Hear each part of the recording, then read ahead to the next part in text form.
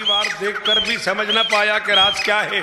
अली को जो कुछ मिला, अली से समझ के वो इम्तियाज़ क्या है? और कोई विलायत के मुनकरों को ये बात जाकर बताई, शौकत, अली न हो तो हरम नहीं है, हरम न हो तो नम